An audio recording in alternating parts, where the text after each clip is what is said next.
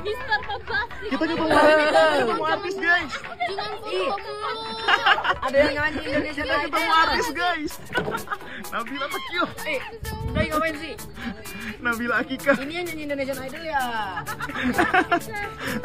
Master Chef.